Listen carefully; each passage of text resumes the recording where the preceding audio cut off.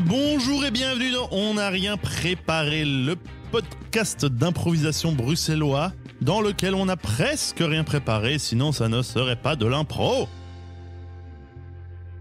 Euh, qui suis-je? Oh, mais qui suis-je? Je ne sais pas. Est-ce que c'est une grande question? Est-ce que c'est moi l'individu? Euh, Moi la créature dotée de conscience? Euh, Moi l'amas de cellules organiques? On va se contenter de répondre à la première question qui est Hicham El Amouri. Euh, Et je me tourne vers les deux amas de chair qui sautillent sur leurs chaises, tels des petits moutons dotés de ressorts. Avec ce, ce trop choupi premier petit mouton qui s'appelle Ise Brassel. Hello, je suis pas choupie, je suis ténébreuse et mystérieuse. Euh, tu es aussi ténébreuse et mystérieuse qu'un muffin. Euh, Un muffin ou un mouton un muffin euh, avec, barbe un- à papa. avec du glaçage de mouton dessus. Oh. Et, et, euh, et, et, euh, en face, euh, moins moutonnesque peut-être dans la vibe, euh, plus euh, alpaguesque. Alpaga, moi je dirais alpaga, pas mal. Hmm. J'accepte. oui, al- euh, nous avons Manu et Nebert. Bonjour tout le monde. Non, c'est les, les lamas qui. Est-ce que Oh. les alpagas, ils. Non, ils sont trop mignons. Ils sont trop mignons, ils se contentent de s'arracher les couilles entre mâles à la saison. Eh ben, écoute, je trouve qu'il y a, il y a une vérité là-dedans. Symbolique, en tout cas, euh, qui me, qui- que je ne pensais pas qu'elle était vrai, là. hein, on peut pas laisser les alpagas mâles ensemble parce que à la saison des amours, ils essayent de s'arracher les organes génitaux les uns des autres. Eh ben, Et oui, c'est hardcore. très très violent. Oui, c'est très très violent. Ben, heureux de la Voilà, trivia sur les alpagas. Vous ne les trouverez peut-être plus aussi mignons la prochaine fois que vous les verrez. Alpaca Trivia. Euh, nous sommes dans l'épisode 8 de la saison 5 de On n'a rien préparé. Euh, vous êtes bien euh, dans un podcast d'improvisation dans lequel nous allons avoir euh, deux à trois improvisations avec des contraintes diverses et trois variées. improvisations. Oui, trois improvisations, deux à trois, plutôt trois, et euh, sans doute pas quatre. et donc, il y aura des contraintes diverses et variées pour le fun et pour le défi. Oui, Et euh, euh, bah oui, bah écoutez, euh, voilà, moi j'ai l'impression qu'on a suffisamment dit de bêtises déjà. oui, Oh suivez-nous oui. sur Instagram et euh, Facebook. Exactement, euh, notre community manager euh, Ise. Ise le mouton muffin barbapapesque. Eh, Roux. Moi? Bah, Mais en oui, tout tu as les couleurs de roux par- l'automne. Rousse par choix. Tu as les couleurs de l'automne. Acquired, euh, acquired red-headedness. Yes. Euh. Some people have Rousseur their acquise. chose family, I have my chose hair. Euh, That's, that's, that's Et a si thing. nous présentais ta première improvisation ah waouh, on me, on me We are losing it. le, le, le pouvoir, le peu de pouvoir que j'ai dans ce De podcast. toute façon, c'est toi qui décides de ce qui se passe au final. Si tu veux réenregistrer tout un épisode Et après, faire semblant d'être. Ok. c'est ça qui sera diffusé. Ise, Oui. nous allons jouer une impro, il me semble. Mais Quelle va être oui. cette improvisation? Eh bien, nous allons faire une. Vous allez faire une improvisation marabout. Qu'est-ce que c'est une improvisation marabout? Hmm, comment expliquer ça calmement alors qu'il est 11h du matin? Euh, c'est tôt pour une comédienne. Durant cette improvisation, Manu et Hicham euh, devront commencer leur réplique par la syllabe qui a terminé la réplique précédente. Exemple, marabout, bout de ficelle, selle de cheval, gna gna gna C'est vrai. Que c'est clair. C'est jeu de Val, Valentin Deslieux, qui était là la semaine dernière. Oui mais quelle transition Hier, j'ai mangé des patates et c'était très bon. Mais ne commencez pas, voyons, ne commencez Pardon. pas, voyons, gar- gardez-en euh, sous le capot. Et pour vous inspirer tout de même, je vais vous donner un mot. Votre mot sera impie. Pi Formidable. Et non, ce n'est pas l'impro JDR du moment. Mhm. Et c'est parti. Oui, je suis aussi dévasté que vous, mais c'est la, c'est la décision de l'archevêque et il va falloir l'appliquer. Qu'est-ce que vous voulez que je fasse d'un truc pareil? Oh, Assassiner des, euh, des brebis euh, de- en masse? Tout ça parce que quelqu'un les a vandalisés J'espère bien que vous allez vous y tenir, parce que peut-être que nous ne sommes pas toujours d'accord avec euh, Monseigneur, mais si nous commençons des dissensions, alors c'est l'Église entière qui tremblera. ras la casquette de me pr- prendre toujours euh, toutes les punitions sur la, sur la tête. Euh, Seigneur prélat, j'ai l'impression que c'est une vendetta à mon encontre et je pense savoir pourquoi. Quoi? Vous vous rebellez contre notre mère l'Église? Est-ce que je dois prendre une tronçonneuse et tronçonner moi-même ces brebis pour en finir? Irez-vous avouer à Monseigneur euh, que euh, nous avons pratiqué la pétanque dans l'arrière-cour de la cathédrale? Hum, J'ai l'impression que c'est pour ça que vous vous acharnez sur moi, pour m'éloigner euh, de la nef et éviter que des rumeurs embêtantes se propagent. Ah, je vous en prie, n'en parlez pas. Nous avions dit que c'était entre nous, que que euh, que ce petit pastis de messe avait avait, coulé autant qu'il fallut et que que, nous n'en reparlions plus. Bon, je peux peut-être trouver d'autres brebis à tronçonner. N'essayez-vous pas de m'éloigner Jérôme? Oh, mais non, Vous je- essayez de m'éloigner. Vous, vous n'assumez pas le plaisir que vous avez pris à vous amuser et, et à vous détendre un petit peu. Je le sais, je le vois dans votre regard.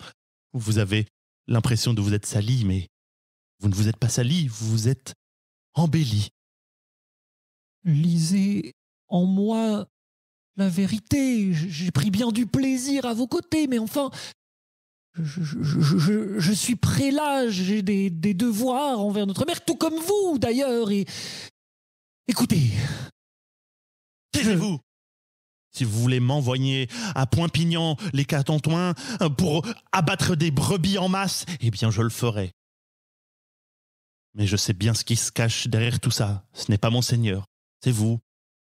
vous dites cela, mais c'est faux. J'agis selon mon devoir et vous feriez bien de vous souvenir que vous en avez aussi. Sinon, cela se passera très mal. Parce que je pourrais aussi porter à la connaissance de monseigneur votre collection de mangas shonen. N'essayez pas de m'intimider. Je sais que mon seigneur lui-même une collection de figurines en résine dans son cabinet. N'est-ce pas vrai tout cela. Mais l'Église est-elle donc pourrie de l'intérieur?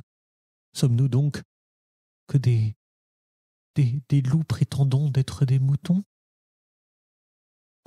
Donnez-moi cette tronçonneuse! Oseriez-vous plutôt prendre les boules à trois lignes Il fait beau aujourd'hui, l'air est frais. J'ai le cochonnet en main. Vous tirez ou vous pointez, Jérôme? Oh, mais vous savez que je, je tire toujours, moi. Je tire toujours.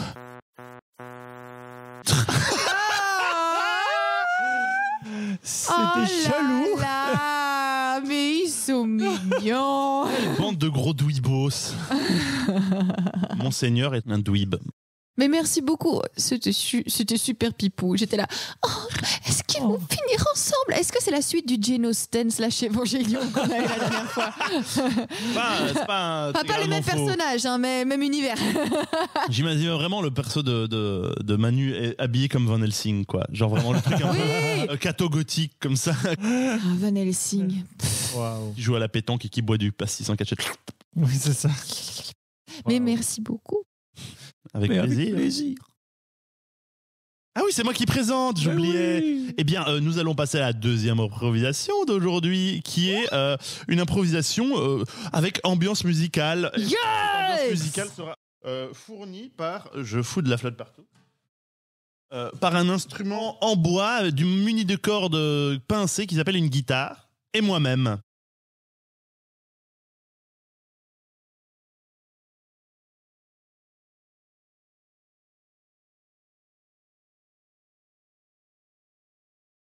Excellente.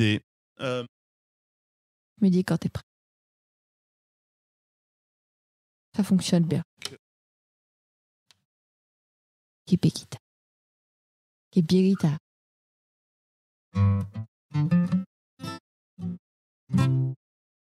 Fouing, fouing, fouing. Good for you? Allez Ouais, attendez, je vais prendre ça en photo comme ça, la commu va pouvoir voir. Merveilleux. Il y a déjà une photo de toi qui a tourné sur la commu avec euh, un genou au sol. Avec un genou au sol. oui, oui. En mai dernier. Sur le Discord privé, sur le Discord privé des gens C'est qui ça. écoutent. La la la. Nos abonnés Patreon. Eh, on pense à oui. vous et merci pour tous les petits compliments que vous nous faites quand vous nous croisez. Ça Eh nous fait oui, hyper c'est plaisir. Oui, merci, bisous. Euh, et et- et c'est parti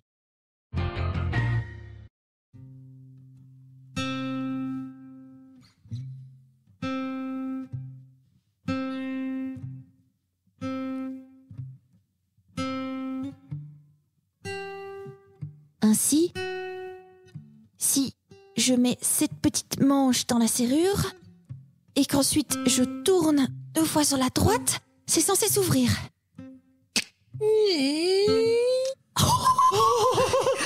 Waouh Ça y est Maintenant, si tu mets un pied à l'intérieur, tu seras officiellement une cambrioleuse. Oh, Oh là Martine, là là. Martine, je suis pas sûre d'être en droit. C'est la première série. Si, vas-y, vas-y, cette fois-ci, c'est moi qui, c'est moi qui fais le guet dehors et c'est toi qui pénètre dans les lieux. Bon, tu te souviens, hein? À partir du moment où tu mets un pied à l'intérieur, on a 2 minutes 12. Après ça, on doit s'enfuir, sinon le sort s'active et on reste, on, on reste bloqué à l'intérieur. Hein. Non, pas le sort. Euh, En plus, j'ai appris qu'il fait très mal. Ok, j'y vais.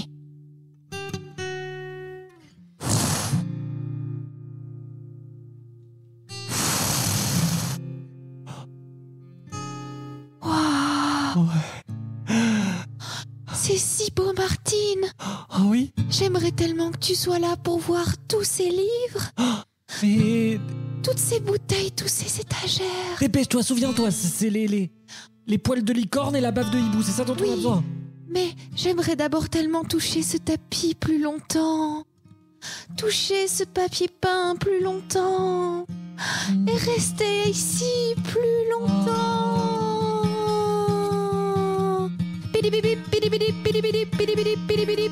2 minutes 20. Isaline, caresse-moi encore un peu, tu peux rester tout allongé contre moi, je suis si fluffy. Isaline aimerait rester encore un petit peu. Non, Isaline, dépêche-toi, dépêche-toi. J'adore cette Isaline bibliothèque, je ne. Isaline, souviens-toi, les poils de licorne, non. Sinon, on pourra pas soigner papa, souviens-toi. Isaline, t'es sûre que... Ah, Is- Isal... Isaline? Isaline Is- Oh non. Oh non, on voit encore sa forme dans le tapis, elle est en train de se faire absorber. Tapis, s'il te plaît, rends-moi rends Isaline. Je suis désolé, on n'aurait pas dû venir, mais on, on va repartir. Bonjour Martine. Bonjour, Tapis.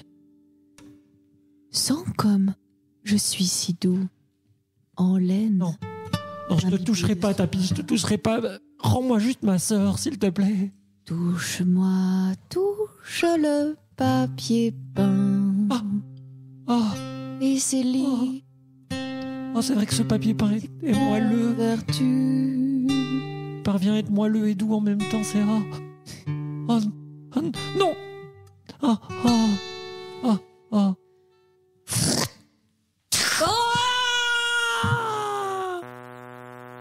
Allez? Aïe, aïe, Lise de, de haine de 22 impro. On aurait dit une euh, nouvelle de Sternberg. Ah bon? Vous voyez ce que c'est ou À vos souhaits. Mais je vois qui est Stenberg, mais j'ai Ok. jamais lu ses nouvelles. C'est- mais- C'est c'est des nouvelles un peu, un peu sombres euh, Ah. Euh, sur base de la réalité souvent. T'as pas des, t'as pas des nouveaux concepts, mais, euh, mais qui sont glauques. Oui. Genre des tapis glauques. C'est très Sternberg. D'accord. Des tapis demeures qui jumelles. des gens. C'est très Sternberg. Ouais. Oui, que- toute, cette, toute cette culture dans une improvisation sans qu'on le fasse activement exprès. Oui, hein, formidable. tout à Ça, fait. ça soigne de nous. Ça soigne. Ça suinte telle la sueur et le sébum. J'ai bien Un kiffé. sébum culturel. Je sentais qu'il y avait une ambiance très. euh, bah, c'est grâce à la musique, hein, mais Ouais. euh, merci beaucoup. Il y avait vraiment une, un parfum spécial, je trouve. Micro. c'était chouette. Hum, C'était le sébum culturel. C'est pas le muscle culturel. Merci d'avoir fait nos points noirs. Le, le cultumusque. Merci d'avoir fait nos points noirs, Richard. Avec plaisir. Euh, le sébum, c'est pas que les points noirs, c'est tellement d'autres Ouais. choses. Ouais. Vrai. Euh, eh bien, nous allons continuer euh, cet épisode avec déjà la troisième et dernière improvisation. Parce que j'avais dit qu'il y en aurait trois, Ah, il n'y en aura pas quatre, et il n'y en a pas deux parce que c'est Il nous a menti. Sinon, ce serait déjà fini. trois. Euh, et, et il s'agit d'une improvisation présentée par Manu. Oui, et nous allons continuer à faire sointer le sébum culturel de nos porcs. Oh, Cultumusque, voilà. Le, là, pardon, le sébum cultumusque. avec une improvisation naissance d'un proverbe. Parce Aïe, aïe, que aïe. nous sommes entourés de, de ces proverbes que nous utilisons sans plus savoir d'où ils viennent. Et grâce à On n'a rien c'est ça, les jeunes ne savent plus parler. Mais oui, c'est ça. Bah, exactement. Voilà. C'était exactement ce que j'ai entendu l'autre jour dans la rue. Mais grâce à On n'a rien préparé, nous retrouvons la culture qui nous a construite. C'est ça, le CCD, tout ça. Les accents circonflexes et toutes ces choses. Voilà. Ah, très Si important. Hmm, on dit clef. On dit oignon. Et en fait, tu, tu tu ne crois pas si bien dire en parlant d'un CCD parce que c'est la première lettre du proverbe d'aujourd'hui. Mais, C'est merveilleux. ah, mais- Le proverbe d'aujourd'hui, dont vous allez nous montrer euh, par le La fait genèse. même et par, et par, le, le- le- par l'expression de votre imagination, la genèse et d'où ça vient, c'est ça m'embouche un coin. Oh, j'adore. Qu'est-ce que c'est que cette expression quand même Ça m'embouche un coin. Ah bon, on va le savoir. Eh bien, on va le savoir très bientôt grâce à vous. Donc, vous allez nous illustrer la situation qui a donné naissance au proverbe ça m'en bouche un coin. Attention, c'est parti!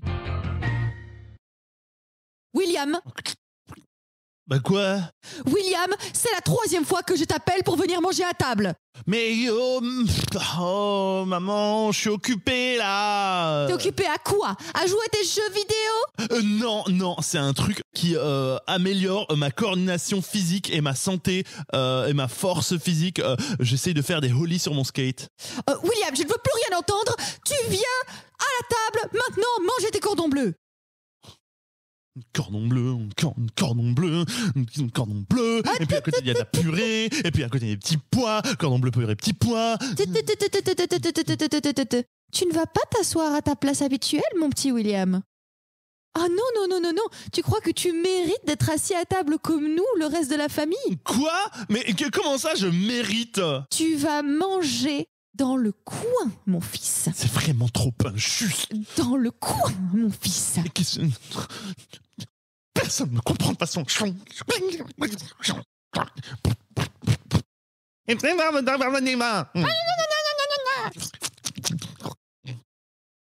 Comme ça. Maman. Ah, bonjour la petite famille Alors, comment ça? Oh, tes cordons bleus, ma chérie. mais Oui. C'est trop beau. Oh Mais qu'est-ce que tu fais là-bas? Il n'a C'est pas maman été qui très- m'a dit. Il n'a pas été très sage. Il, a, il est descendu qu'au bout de trois fois, trois appels. Trois appels? Mais c'est bien. Parce que tu sais, on ne savait pas quoi mettre dans ce coin comme meuble. Et je pense que Un Mais- adolescent? un adolescent qui râle, ça, ça bouge bien les coins.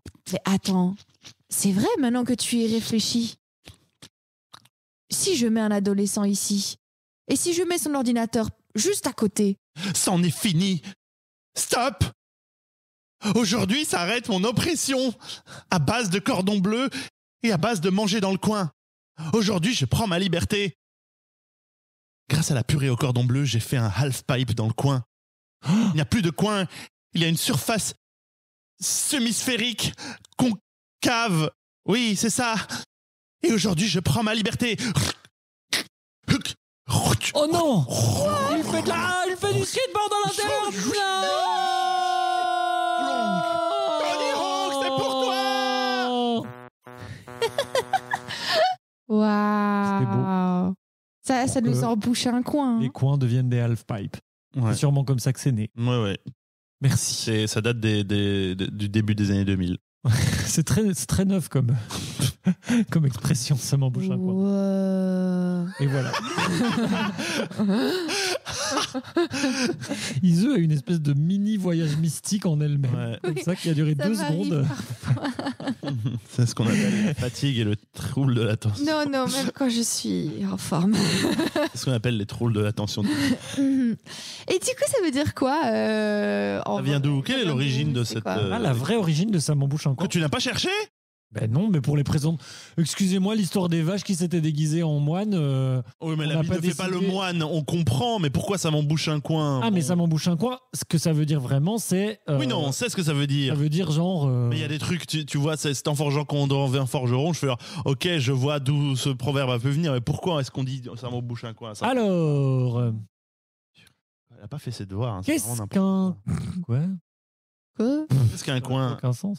Qu'est-ce qu'un coin Lorsqu'il est dédoublé, c'est le cri du canard. Mais lorsqu'il est seul, Quoi de quoi s'agit-il? Pardon Il y a, il y, a, euh, un- il y a un chroniqueur qui s'est pris pour, euh, pour euh, Pulitzer. mais non, pas la définition de le- Ah, donc un coin, oui, donc c'est un angle rentrant ou saillant formé par l'intersection de deux lignes. Non Lorsque cette expression est apparue à la fin du 19e siècle, Ah, elle bah voulait voilà. dire rendre muet d'étonnement. Bah, c'est ça, pour moi, ça m'embouche un Oui, coin, ça veut oui. dire genre, oh, oh, ça me rend muet d'étonnement. Ce qui est une, para- une paraphrase de fermer la bouche. Le coin serait ici une métaphore désignant la bouche par un de ses Ah. coins, les angles rentrant à la jonction des lèvres. Emboucher un coin ne serait donc qu'une forme familière de fermer, boucher la bouche ou empêcher de parler. Comme la purée quand on en met assez dans une bouche, finalement. Ou dans un coin. Pour faire un half pipe. Waouh C'est- Je suis un peu déçu. Phone drop Je vais être tout à fait honnête, je suis un peu déçu par. euh, Par le manque de préparation de ma catégorie. je- non, non, euh, Tu veux dire que tu voulais non, non, penser ça, que dans ça, On rien préparé, j'aurais préparé ma catégorie Non, non, je ne suis pas déçu. Là, je savais à quoi m'attendre. Ce n'est pas, pas... Oh, C'est pas vrai. Bisous Manu, pardon. Sur ce, ce cataclysme euh, proverbial, sur cette déception proverbiale, en tout cas personnelle, euh, eh bien, euh, nous allons passer à, à la, à la- à la partie euh, que vous attendez tous, en fait. Après la première partie que vous attendez tous, qui est les impros, il y a la deuxième partie que vous attendez tous, qui est les coups de cœur. Mais Et oui. nous allons commencer avec le coup de cœur euh, d'Iseux. Oui, eh bien, mon coup de cœur du jour est un coup de cœur musical, euh, comme il y a deux semaines. Oui, mais celui-là est une grande surprise et c'est euh, TikTok qui m'a euh, qui m'a amené vers euh, ce petit coup de cœur musical. C'est un titre d'une fille qui s'appelle Kate, c'est A Et le titre s'appelle Girlfriend. Et mes copaines qui sont misandres, mais qui tombent encore amoureux de 6-7, j'ai découvert le tube pour vous.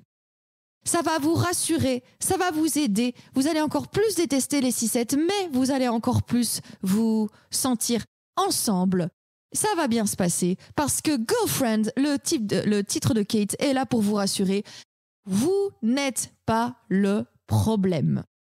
Vous êtes certainement sa psy, vous êtes certainement sa branlette, mais c'est lui le problème et ne vous en faites pas, vous méritez toujours mieux.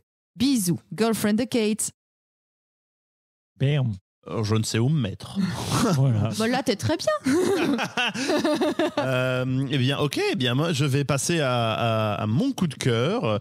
Et il s'agit d'un jeu vidéo qui s'appelle Citizen Sleeper, qui est un jeu sorti en mai 2022 et développé par le studio Jump Over the Age. Euh, Citizen Sleeper, c'est un jeu profond, politique et contemplatif qui est inspiré des jeux de rôle sur table avec des jets de dés. C'est une interaction très particulière au un- une, des limites de temps et euh, une narration textuelle qui, euh, je dirais, euh, leur propre terme, exquise. Hum, Et, c'est un jeu avec un aspect très dépouillé. Il n'y a pas d'animation, euh, il y a doublage limité à quelques moments cruciaux. C'est un jeu qui utilise en fait beaucoup l'imaginaire et de la narration textuelle pour euh, donner vie aux scènes qu'il décrit euh, en s'appuyant sur des chara-design super soignés pour euh, illustrer les différents personnages qu'on croise. Hmm. On y incarne un sleeper fugitif. Un sleeper, c'est un être artificiel doté de la copie de la conscience d'un être humain qui a vendu sa- cette dite copie à une, une entreprise pour créer une créature qui est en fait corvéable à merci, qui n'étant pas strictement parlant un être humain vu qu'elle est artificielle, euh, euh, euh, appartient à leur corporation et euh, est un travailleur gratuit et, donc un esclave. Euh, et euh, voilà. Donc l'intrigue, ça se déroule sur une station spatiale un peu décatie, euh, anciennement pinacle de l'industrie spatiale, qui est aujourd'hui euh, contrôlée par un, syndicat euh, de, travailleurs qui fait comme il peut, mais qui euh, fait surtout de la merde. Euh, et en gros, euh, cette, euh, cette station est peuplée de travailleurs prolétaires qui ont été laissés sur le carreau par l'entrepreneuriat spatial de grandes corporations. Et en tant que sleeper, nous sommes à la base théoriquement dépendants de la corpo qui nous possède parce que ayant fui, on voit notre corps artificiel se dégrader physiquement vu que les corpos rendent notre corps, corps dépendant à, leur, à des produits et qui nous font Hmm. survivre. Euh, euh, plutôt dystopique, j'ai envie de dire. Euh, euh, et en vrai, mais nous, nous voulons survivre et trouver un avenir, ce que nous n'avons pas, n'avions pas avant, si tant est que qu'il y en a un. Est-ce que les corpos nous laisseront en paix? Pas garanti. Est-ce que nous trouverons un sens à notre existence? Ah, On verra. Donc c'est un jeu cyberpunk, si vous avez pas compris, avec tout ce que ça implique comme délire de, de politique, de, de, de capital, de représentation du capitalisme, de euh, de technologie, de d'accès à un réseau euh, parallèle à la réalité qui est un peu comme Internet avec du hacking et des trucs comme ça. Euh, et et c'est un jeu politique, poétique et super introspectif. Qu'est-ce que c'est qu'être un être humain? Euh, Quelle est notre fonction et notre place dans l'existence? Quel est le prix de la survie? Find out Euh, Dans Citizen. Sleeper. C'est un jeu super touchant. J'ai pleuré au moins à, à deux moments dans, le, dans, dans ce, ce jeu tellement en fait je, on, on s'attache à des êtres, des êtres euh, décrits dans des petits textes avec un cara design. Euh, Ah. euh, Il y a plein de fins possibles. Euh, c'est super intelligent, Ah, super beau. Jeux avec des possibilités de... différentes. Citizen Sleeper, jouez à ce jeu, s'il vous plaît. Voilà. Et racontez-nous notre expérience. euh, racontez-nous votre expérience. Sur les réseaux, en commentaire. voilà, bah. Manu, euh, c'est, c'est. Je sais à quoi je joue ensuite. Ah Euh, c'est, c'est à ton tour de nous donner ton coup de cœur. Oui, eh bien moi, c'est aussi un coup de cœur musical. Euh, il s'agit euh, d'un chanteur. En tout cas, ça m'étonnerait pas euh, que ce soit aussi un slammer, parce qu'en tout cas, il fait des textes qui sont très poétiques, qui s'appelle Chien Noir, de son vrai nom, Jean Grillet. Euh, donc Chien Noir, il est bordelais, euh, il est né en 86, donc il est relativement jeune, Euh, et il vient de sortir un album qui s'appelle Apollo, qui est un peu thématisé dans l'espace. J'ai un petit peu écouté son album, mais pas encore assez pour vous en parler. Mais en tout cas, avant, il avait sorti deux EP, Beau et Échappée belle, non, Histoire vraie, pardon, qui sont des EP que j'ai vraiment beaucoup aimés. Je trouve que ce qui est très chouette chez Chien Noir, c'est que déjà, il a, une voix euh, qui est euh, très chaleureuse, très douce. Et il a euh, des textes qui sont aussi très chaleureux et très doux et qui font vraiment du bien, qui, se, qui mélangent de la poésie, des choses un peu humoristiques et puis parfois des sentiments très, très sincères, très premier degré, très choupis. euh, avec des instrumentales derrière qui sont assez simples. Parfois, il y a juste une guitare acoustique. Parfois, il y a quelques musiques un peu plus électroniques, mais, mais c'est toujours très, très doux, très posé. Et c'est pour ça que pour moi, enfin moi, je le situe vraiment un peu au carrefour du slam et de la chanson française, parce que s'il chante en français, euh, je ne saurais évidemment que vous recommander dans son EP Histoire vraie, Qu'est-ce que tu fais dans le noir, euh, qui est vraiment très très beau, et dans Beau, son autre EP, Échappée belle, qui est vraiment euh, une chanson que je m'écoute en boucle. Euh, voilà, euh, Chien Noir, donc son album Apollo que j'ai pas encore tout à fait écouté, mais en tout cas beau et, et, et, euh, Histoire vraie, ces deux EP précédents qui sont vraiment très chouettes, très choupis. Et en plus, je trouve que ça vraiment dans cette ambiance d'automne où on a envie de se Ah, caler sous la couette avec un chocolat chaud. oui. Eh bien, en écoutant des, des chansons, en plus, il y a beaucoup de ces chansons qui sont un petit peu comme des petites histoires comme ça qui raconteraient ou quoi. Eh ben, moi, je pense qu'il y a moyen de passer un très très bon moment. Voilà. Merci. J'ai réécouté. Un très Chien très noir. bon moment. Merci Manu. Merci Ise. Avec... Merci, Cham. De rien, c'est avec Merci plaisir. Ise. Merci, Manu. Merci euh, le, le, le, le cultumusque. qui Merci, de nos, les- de nos les cerveaux. cultures. Les ports culturels. Les porcs gruiques. Les ports. j'ai pas envie d'arrêter cet épisode parce que j'ai envie de dire des bêtises, mais j'ai pas de les bêtises concrètes à, les à ports dire. qui nous ramènent de nombreux poissons. Ah bah, si chacun disait une bêtise pour terminer. Une bêtise. J'adore Donald Trump. C'est une bêtise. Ouais, ok, au revoir.